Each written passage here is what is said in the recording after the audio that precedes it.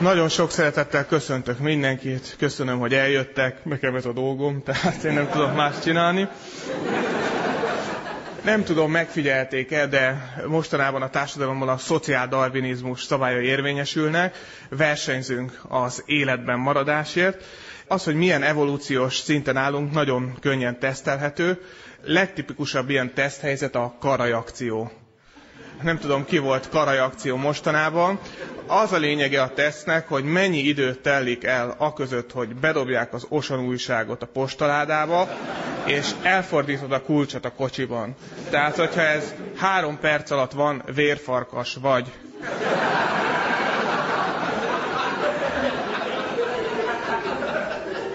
Nálam két perc ez az idő.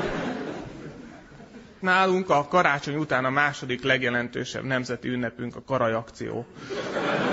Ez megmozgatja az embereket, felveszik a legjobb szabadidőruhájukat, hideg étkezési utalványok betárazzák az autóstáskába, irány a bót. Mondjuk nagyobb a részvétel, mint a népszavazáson. Azt lehet megfigyelni. Ez olyan, mint az élő halottak támadása, csak mindenkinek a kocsin van a keze karajat kell vennem, karajat kell vennem. És ugye amikor megvették a karajot, akkor jön a pénztár, ilyen 24 kasszás kasszasort leszkennelik, mint körhintás a gyereknapi sokadalmat, ugye, hol a legjobb az esély, és utána ilyen Ben Hur akciójelenetek best of a kocsival, Láttam olyat, hogy valaki a 8-as kasszánál megpillantotta, hogy üresedés van a 19-esnél, és annyira begyorsult, hogy 8 raklap orbitot sodort le. Ha nem kapkodják el előle a bambáskodó gyerekeket, tömeghalál van. De azt nem értem, hogy az emberek miért akarnak ilyen gyorsan fizetni, nem? Tehát, hogyha később fizet, többet van a kártyádon a pénz nem tudom kinek van bankkártyája, nekünk volt egy kolléganőnk, aki hát nem állt így a szellemi magaslatokon, és ráírta alkoholos filccel a PIN kódját rögtön a bankkártyájára, hogy minden rendben legyen, és hát mondtuk neki, hogy ez így veszélyes, mert ellopják a kártyádat, fel tudják használni. És mondta, hogy nem érti hogyan, mert ha beteszi az automatába, nem látszik a PIN.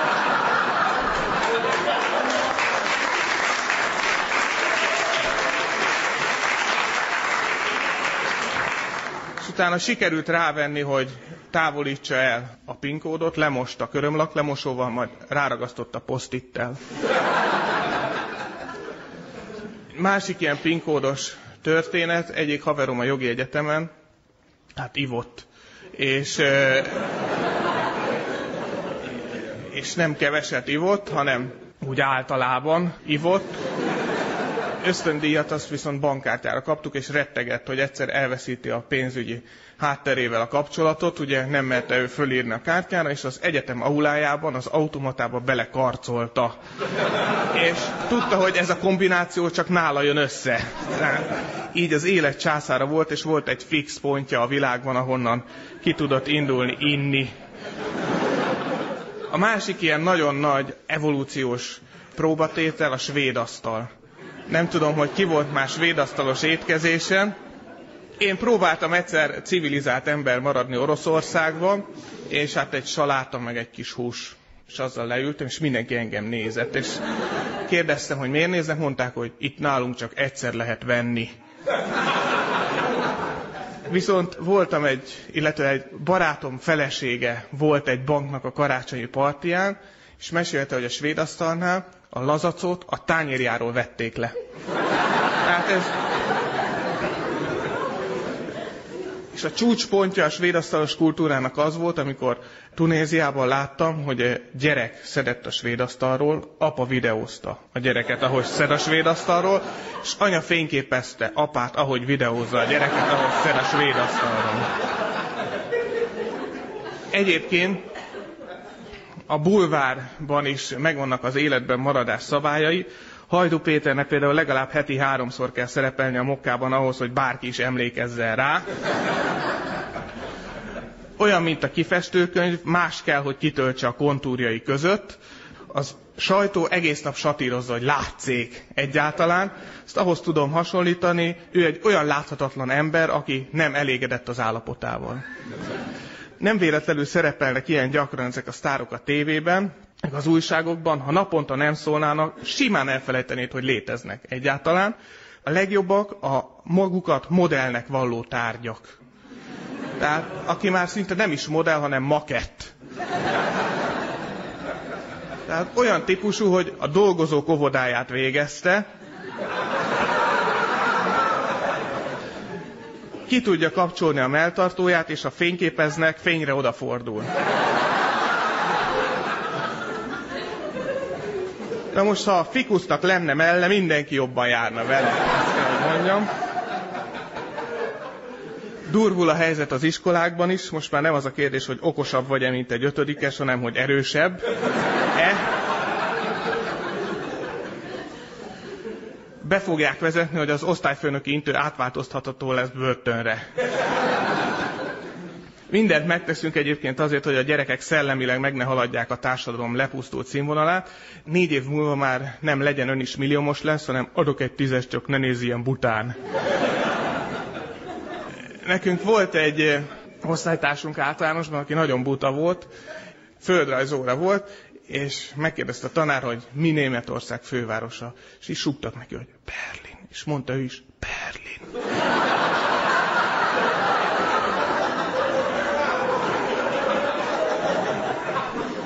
Úgy érezte, hogy a hangerő is számít a magyar. Németül így mondják halkan. Ugyanígy az evolúció szisztémája működik, van ez a Kiválasztott című műsor, ez a Thomas Mann után szabadon. Az a kérdés, hogy kiválasztotta ki őt, aki a többieket kiválasztja.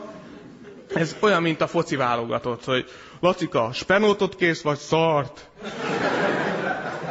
És tud választani.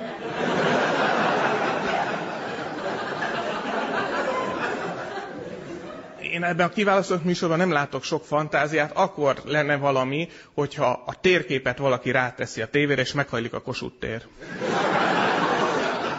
Abban megvan a perspektíva. De most az a legfurcsább, hogy ilyen százhalom battai hakni bűvészeket mentalistának hívnak. Most a CBA-ban hallottam, voltam bevásárolni, ilyen két alkoholista beszélgetett, mondták, hogy tegnap mentolosak voltak abban a műsorban, de tévén át nem éreztem. Ez olyan, mintha a kocsmában egy alkoholistát nem úgy hívnának, hogy alkoholista, nem szomelié.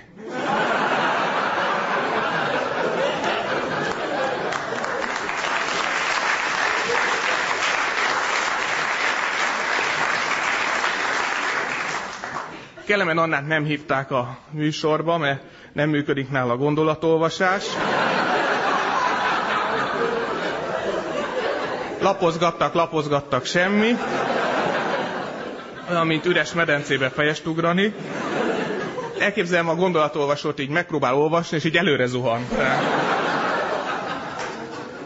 Az a legviccesebb, hogy ilyen neveket adnak a mentalistáknak. Van romantikus csábító, titokzatos zsoldos, és ez olyan, mint a pultnál Laci bácsi a kétfogú tigris. Tehát azért, mert csikos polóban van és büdös.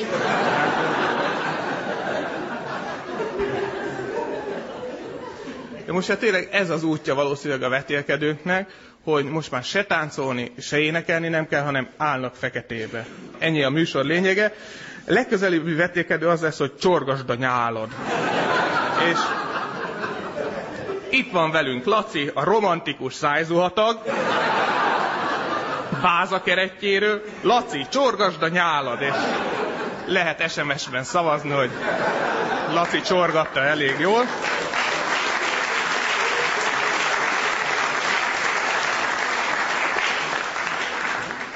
végül a feleségem nagy dilemmáját mondanám el.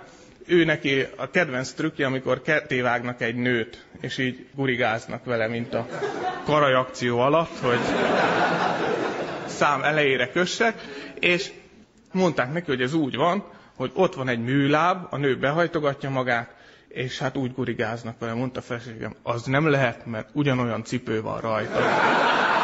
Köszönöm a figyelmet.